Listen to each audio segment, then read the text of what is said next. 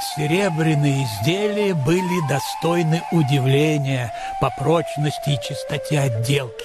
Черни позолота с величайшим искусством на них наносимые были превосходны в полном смысле этого слова и никогда не сходили.